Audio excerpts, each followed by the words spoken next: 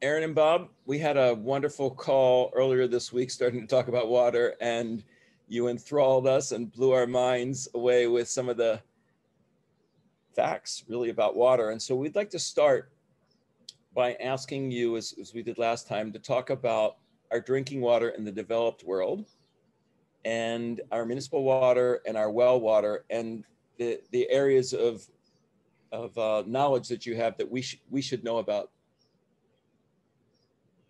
So we first started talking about municipal water and about the different waters and the different times of year of water. Bob, could you start sharing some of your insights there? Sure. Uh, greetings, everyone. Uh, my name is Bob Bowcock, and, and I come from the municipal uh, drinking water field.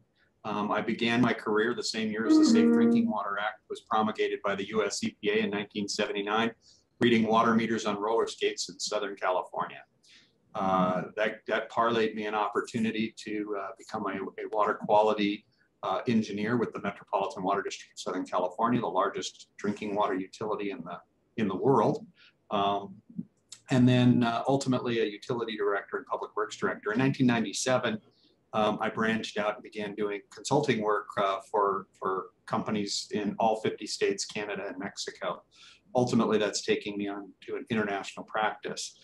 In uh, uh, the late 1990s, uh, I had the opportunity to meet Ms. Erin Brockovich uh, through the attorneys. Uh, I, I, serve as the water master for the LA Superior Court here in Los Angeles County, as well as the Superior Court in San Bernardino County for the Chino Basin Water Master.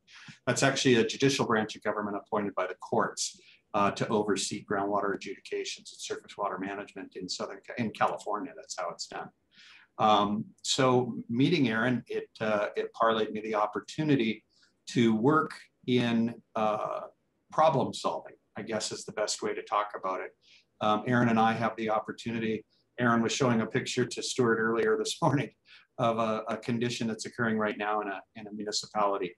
Not less than 50 municipalities in the United States of America in 2021 email Erin, literally showing that they're putting their children in in baths full of black water from manganese contamination, red water from iron contamination. And people think, wow, these are really, really, you know, simple contaminants that we should be dealing with in 2021. But there we go. That's that's water and, and sulfur uh, in basically in in uh, Lake Charles, Louisiana, which is is a larger metropolitan area. This is not backwoods stuff here. This isn't a private drinking water well. That's a municipal corporation serving water to over 25,000 people. So, um, like I said, we get 50 of those from community drinking water systems a week. Um, and, you know, because Erin's, you know, in tow, uh, there's always this fear factor. Oh, they're coming to sue us. We're in all kinds of trouble. But in reality, um, for the, over the last 10 years, Erin and I have tried to help community drinking water systems um, and communities that are on their own wells. So you, your most of your metropolitan areas have community drinking water systems that, that produce water either from surface water sources, groundwater sources, um, or a combination of both, or they, they buy water from large cities or metropolitan water districts, as I was discussing earlier. Um, everyone would like to think that, that water is uh, completely safe to drink in every corner of the United States of America. Um, nothing could be further from the truth. And that includes the Metropolitan Water District of Southern California, the city of New York, the city of Chicago. Uh, you, you name a major metropolitan area, and we can begin discussing a lot of not only the historic contamination that they've, they've been encountering, but the emerging contaminants. I saw where Stuart mentioned the 374 water and, and their challenge with the perfluorinated, the PFAS compounds, the Scotchgards, the firefighting foams, the, uh, the Teflons that are starting to become emerging contaminants. Um, what people fail to recognize is the definition difference between what is Safe Drinking Water Act and what is regulatory compliant water. To be compliant with the Safe Drinking Water Act, anyone can do. Um, it's called creative sampling. In some instances, it's called pencil whipping the paper. Uh, you write down what you think is compliant, and all of a sudden, you are in fact in compliance. So there's not only a lot of cheating, but there's also, you know, creative sampling. flush for a little while, take the sample at selective locations, things like that. Um, quite frankly, you know, we're in a we're in a um, a major paradigm shift, um, not only in North America but around the world with with infrastructure that's completely decayed. What's happened in the United States of America is the unintended consequences of simultaneous compliance with regulations that had good intentions that were basically lines in the sand that said, if this is the new rule, this is the new regulation, great. This is how we get around it. And so we had the surface water treatment uh, uh, rule that was promulgated under the Clinton administration that led to problems with the disinfection byproducts rule, that led to problems with the lead and copper rule. There was not lead contamination in the city of Flint, Michigan. Um, there was lead leaching from the infrastructure when the water quality changed. Water quality changes in every major city, every, every suburb, and every small town in North America by seasons. Water quality is different in the fall, different in the winter, different in the spring, different in the summer. There are community drinking water systems that have water quality shifts between supplemental groundwater and surface water.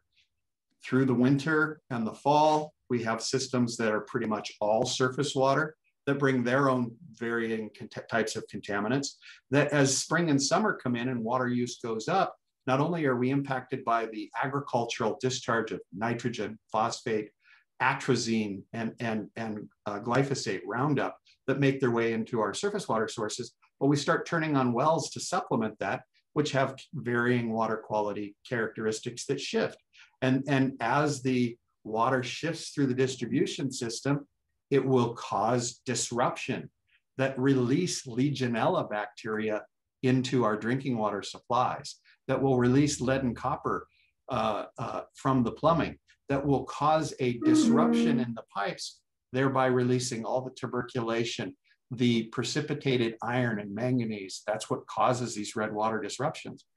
In all this chaos that is simultaneous compliance with regulations that were all, you know, basically adopted in silos rather than homogenized, what happens is, is we actually have horrific practices in North America called free chlorine burns. We actually turn off ammonia that has no place in drinking water turn up chlorine in order to blast out nitrification in our drinking water distribution systems. Where does all that, that biology, that sludge, that buildup of tuberculation go? Our dishwashers, our laundry machines, our hot water heaters, our showers. We were talking with Stuart earlier in the week, uh, Erin and I, and, and we've coined the phrase the September baby. A September baby in North America is a baby that's born at the end of a third trimester in September after a 90 day free chlorine burn that causes trihalomethane, a disinfection byproduct class of chemicals, to increase in our drinking water supply. All drinking water regulations in North America are based on two liters of drinking water for a 40 year old white working male that he consumes. Do you know that you can inhale in a 15 minute shower disinfection byproducts? In a 15 minute shower, you can inhale more of those compounds into your bloodstream than you could drink in 90 days. The inhalation of trihalomethane in our drinking water supplies in major cities across the United States, that inhalation factor, um, you know, it's, it's something that's, that's basically causing uh, first trimester increase in spontaneous abortions, miscarriages, low birth weight in the second and third trimester, and a September baby reminds me of a group of fathers calling Erin and I from Tyler, Texas, where they were feeding 10 milligrams per liter. The average swimming pool has two. 10 milligrams per liter in the drinking water supply to burn out the nitrification caused from the, the, the misapplication of ammonia into a distribution system. And they were all calling from the neonatal care unit in September because they turned the ammonia off on the 4th of July weekend burned the system out, and all those babies were prematurely born with low birth weights in September in Tyler, Texas. This happens in all major cities that are impacted by disinfection byproduct rule and compliance with the cheap, easy solution of just feeding ammonia as a supplement to sequester the chemical reactions that form disinfection byproducts. So there you go, Stuart. I kind of gave you a whole think about to fire up those questions. Yeah, well, thank you, Bob, for um, really explaining a lot of facts about water that we don't know as consumers. And while we don't want to scare all of us to say, oh my goodness, don't drink your tap water, we do want to help understand what's in it, what you can do as a consumer, and then what choices do you have. You you weigh in and, and you know, you being the consumer advocate and activist about water, we were talking about well water and about the, the risks of well water. Reed, was that for me or for Erin? I thought you were. Erin. Oh, well, it, it's for Bob and I both. I mean, yes. From the perspective of, you know, my work is basically just being loud. you know, I'm always glad when Bob is on because he's very calm. He can explain it all, which is really important because we take it for granted and we just assume that we have this luxury you know and there's many countries that don't to turn on the tap and have water that everything is safe and i'm always loving it when bob is speaking and i was watching some of the questions come in like i do the people because they're really learning something oh my gosh you know water's never a soundbite it's always a story it is so unique. And, I, and, when I listen to Bob talking about how water reacts, I sometimes giggle because I'm like, oh, it's moody like I am, because water reacts. And um, well water is something that's off the grid. And, you know, we can get into our distribution systems from point A to B, the hundreds of miles of lines of distribution that's unregulated, that we don't know what's going on. And that's the same thing that happens with well water. And it's it's just it's off the grid and it's up to the homeowner to do all the testing. Oftentimes they think when states and agencies come out, they've tested the water that everything's fine. They're really just looking for E. coli and bacteria like that. And um, it's just a lot of dangers lurk there. Uh, Hinckley, California, that resulted in the film Erin Brockovich was well water. Some of our highest concentrations and most significant contaminated sites are often well water. So we've got what, Bob, 40 million Americans in the US still on well water. Yeah, and it and it will be for many, many decades in the future. And it can really tell us what's going on in those aquifers. Because they're drawing from the aquifers. As bob was sharing with you you know oftentimes we get surface waters coming in. But well waters are generally uh, they're always pulling from an aquifer and it, it we we find horrible contaminations within these aquifers and and that for me is a super big problem um, you get these DNAPLs and these massive amounts of contamination that over decades can just, you know, burp it off and burp it off. And depending on what the water table is at, um, you can just suddenly find these huge sludge of, of contaminants moving through. So well water is, again, off the grid. People forget about it um, because they can't see what's going on. You know, when I show a picture to you like that, when we get photos like that and we get them every day, we have an entire collage of the United States of America. We're visual, people see it and they'll respond to that. But oftentimes they can't see those things coming from their well water. And by the way, uh, in Hinckley, they just thought that that was a natural element that was coming through the rocks and through the aquifer uh, out of their wells. And that's why their water was green. And so the, they tend to maybe pass things off a little more uh, with well water, but that's where real danger lurks. If you're a consumer on well water, Stuart, just real quick to follow up on where Erin's at. Um, if you're on a well, you're probably on a septic tank. And that's where this vicious cycle goes. Your septic tank is actually, you know, contaminating your groundwater well. You know, it was one thing when, you know, you had a farm out in the woods and you had a well over here and your septic tank over there but now even in the in the uh, suburbs where all these people are on wells and septic tanks the state of florida you know today's rain is tomorrow's drinking water and they're all on wells and septic tanks and and they, they basically are repolluting themselves every day so what do we do as consumers to be able to one either test our well water or two, to work with state or, or local or government agencies to whether it's regulate this or to protect that, that well water. Oh, we talk about that often. I mean, Bob, correct me if I'm wrong here. Didn't the, the Los Angeles Municipal Water District lose their backup aquifer water because it's so polluted? Yes. Yeah, they basically are doing groundwater storage and recovery programs in the Central Valley of California for the bigger cities, LA and San Diego. And uh, it's contaminated with agriculture uh, pesticides, you know, 123 TCP, uh, a number of other contaminants. So they're going to actually have to you know, they've spent billions of dollars putting water in the ground. Now they're going to have to spend billions of dollars taking it back out for supplemental water because it's contaminated. Um, to Stuart's question on, on what we can do, um, it's complex. It's very complex. There's, you know, at the consumer level, I think the best message that we can deliver is educate yourselves. Um, you know, a consumer confidence report isn't worth the paper it's written on. Um, they're actually, you know, just re-Xeroxed from 1999. Um, they don't tell you anything new. They're kind of garbage. Um, so you need to understand what your source water is for your, if you're on a community drinking water system, or understand your aquifer if you're on a groundwater well. And understanding your source water, then you can better apply treatment technologies.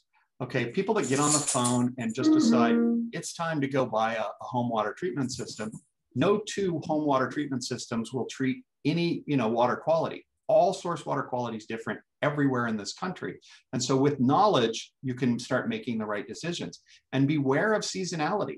I mean, somebody said, you know, I drink water in my town. I'm in a suburb of Los Angeles, Claremont, California, where the Claremont colleges are.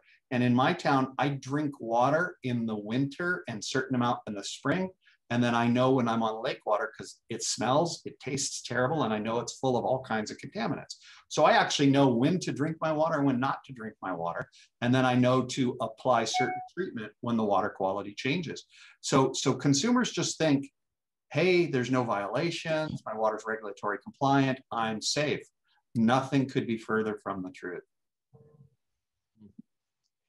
So great, great news for us as, as consumers. We just need to become educated first and foremost.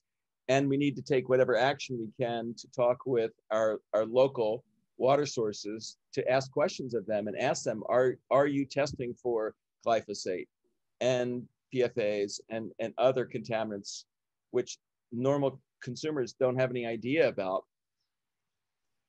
Let's jump to bottled water and and let's talk about the the uh, facts and uh, truths and maybe fallacies there, Erin and Bob. Well, you know, um, it's basically just filtered reverse osmosis water, uh, bottled and packaged for convenience. I mean, I've found myself in many a situation where I, I need a bottle of water. Bob and I have been in many sites where municipalities have gone down for weeks, if not months at a time, and and it becomes, you know, something that people are going to need. That's that's how we get them a source of water. So from drinking, I mean, I found myself there's certain places in the world I won't drink bottled water because you know the minute you open it up, you can smell that something's wrong. But typically, it's reverse osmosis water and so it's it's kind of a double-edged sword. Uh, yeah, it, it's it's the same thing as community drinking water systems mm-hmm. all around the country. Make yourself aware of what you're going into. Um, and, and it's the same thing with bottled water. Some are from natural spring sources that are perfectly fine, protected aquifers, protected springs, um, and they're, they're brand specific and they're source specific. Um, a lot of the brands have spun off and, and you're not exactly getting what it says on the label anymore. You need to, you know, read behind the label to find out exactly what's going on. And Erin's perfectly correct. Um, the, the drinking water market, you know, the, the, the hotel brands, the casino brands, the private label brands, they're, they're municipal water that's gone through reverse osmosis straight up. Uh, you know, it, there's all kinds of sources and just like you have to with the, the community drinking water systems, with bottled water, you need to understand its source.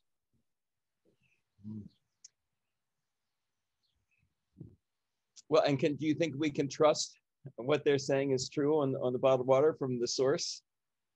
Um, I will tell you this, um, the bottled water is, is managed by the FDA, the Food and Drug Administration, and the drinking water is managed by the Safe Drinking Water Act and the EPA. And there's 50 states, and 50 states have their own program. Half are run by Department of Health, half are run by Department of Environmental Protection. Department of Environmental Protections are engineers, Department of Health are medical doctors. I will submit to you that medical doctors and engineers do not have the same brain. One's left brain, one's right brain. And I will tell you that, that, that, that uh, the application of those regulations is, is 50 states. The difference with the bottled water market, it is one federally managed program. And if they mislabel, they will get sued into the next century. And so they're very careful about how they label mm-hmm. things. So the trust issue on their label is a whole lot better. Now, what contaminants are in that water is another story. And what they test for is another story. It is not, it is the, the testing requirements for community drinking water and the testing requirements for bottled water are, are very different. And that just shows how stupid we are as a federal government of regulatory agencies. The left hand doesn't know what the right hand's doing.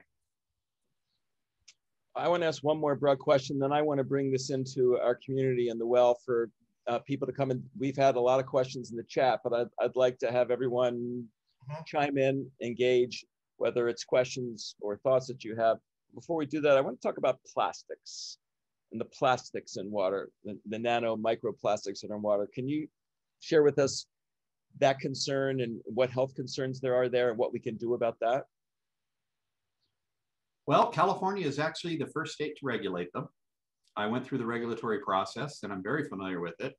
Um, they are a real problem. There are microplastics in every beverage you consume. Um, and it's just a question of what the health effects are. There are absolutely no good studies out there about the health effects of the plastics. Um, will they pass through the body? Do they retain themselves in our, our, our body's filters? Do they stick in the kidneys? Do they stick in the liver? Where do they end up? Do they, do they transmit in our bloodstream?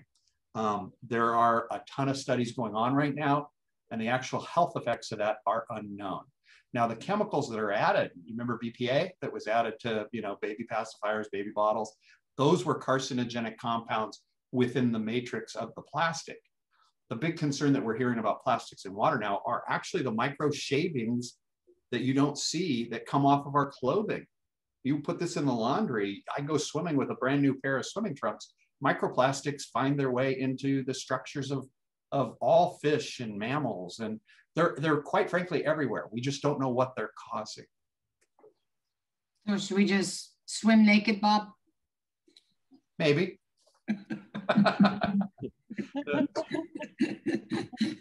Just shed the clothes.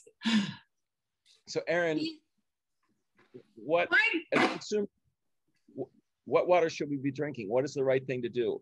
How, how should we be bringing water to our homes, whether it's in our home or whether it's bringing it to our home to be healthy for our families?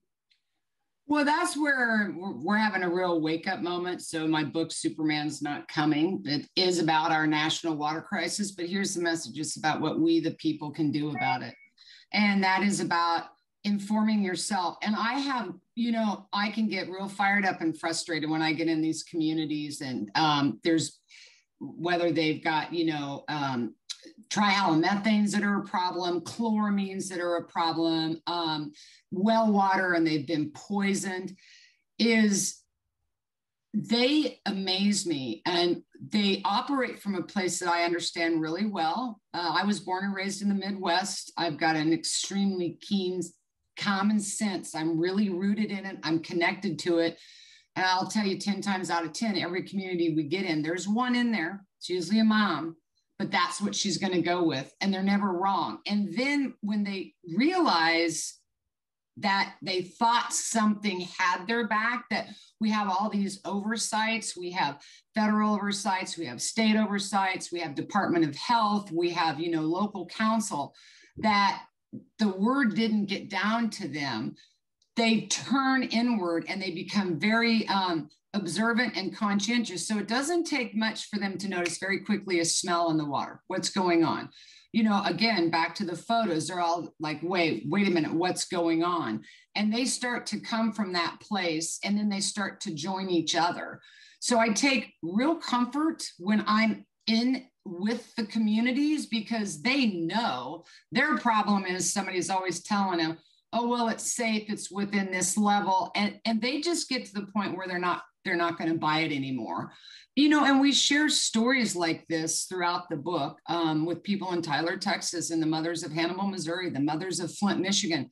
They've got that second gut science backs me up here your second brain and they're like they just stay with it. And that is one thing. Knowledge is power and stay with that intuition. That is one of the, the immediate first protections and defenses that we have that I see communities operating with, and they're really starting to wake up and rise up to that. Uh, I showed you that dirty water photo to uh, this morning, and that's from Sulphur, Louisiana. Let me tell you what, they've been on their game and they're now they're collectively getting together and they're getting stronger and stronger. So there's great power in these groups. Um, and you'll lose them on the science. I, have I've learned this in, in Hinckley, and this has been an important message. They they pull away from us. You know, I was uh, one of the first times I worked with Bob. We were in a big community meeting, and he was talking about organic matter and trihalomethanes, and I could see people's faces just kind of go white. They're like, "Okay, this is medical science. You know, I can't do that." And I asked Bob, what is organic matter? Well, it's dirt. So, see, then something came on for them. They're like, okay, now I get this. And you don't have to, and this is the biggest message I want people to understand have to have a science degree or a medical degree to understand water and to be involved with water and learn how to begin to protect yourself. And that becomes through your own knowledge.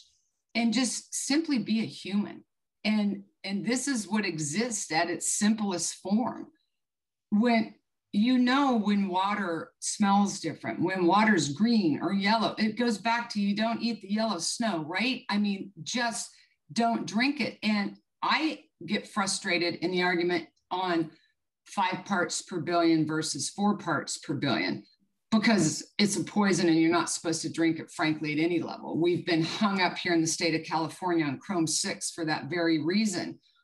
But my work really is with the people, getting back to believing and trusting in themselves in what it is that they are seeing, experiencing, and drinking. And I'll tell you when they do, they're never wrong, but that's where they can begin to, to make the first set of changes. And it's as easy as asking questions, um, not being afraid to ask questions. Pick up the phone and make a phone call and don't assume that that's being done for you. So it's it's real people empowerment and waking up to the fact that we're going to have to be involved and a huge part of making that change and that is consistency and following through and I will tell you, everywhere we work in this country, what gives me hope every single time, it will be a mom, it will be a family member. Yes, it can be a dad that says, uh uh-uh, uh, no, not this time, something's not right. And they become activated. And then that changes everything. So it does take all of us being involved and being able to understand it. And all of us, you know, and Bob said it very well in the beginning. People often think when we come in, we're there for some lawsuit or work against you. No, we're not. Whether it is industry or a company or a municipality, big or small, or a politician or a leader or something, give us your hand. The only way we're going to solve this for the people, we have to work together. We have to be honest about what's happened, being transparent, we could beat everybody up and blame for everything that's gone on in the past. That's getting us nowhere. We are in that tipping point where we have to be together now to look for that solution and moving forward. We're here to help. And I'm really glad to be here today and everybody involved because we learn a lot from each other. And uh, I learned so much, it's fascinating. But the moment is the collectiveness that's going to shift the tide, if you will. Well, that's the, that is what we are seeking to create in the well. is creating this collaboration and communities mm-hmm. come together. And whether it's water experts or it's just the person on the street to begin to really become educated and understand what's in our water. Because when we hear tap water is fine, we're unfortunately learning that a lot of the tap water is not fine and that it is the source of so much disease and illness that we have in our, our lives, even in this developed world. So deep gratitude to you all and gratitude to the water and looking forward to our next time together. Great meeting, everyone. Exciting. Thanks, everybody. It was delightful. It was.